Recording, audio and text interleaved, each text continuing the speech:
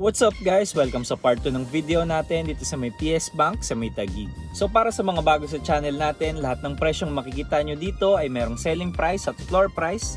Yung floor price, ito yung minimum bid amount. At yung selling price naman, ito yung babayaran nyo kung ayaw nyo nang mag-bid.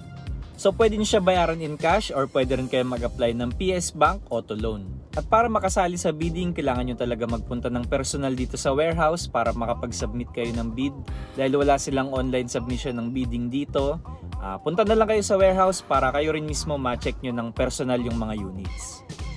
At para sa mga interesadong mag-bid, ang cut-off ng bidding nila is every Tuesday and Friday ng 1pm. Pero pwede pa rin naman kayo mag-bid after 1pm. So papasok na yung bid nyo sa next cut-off.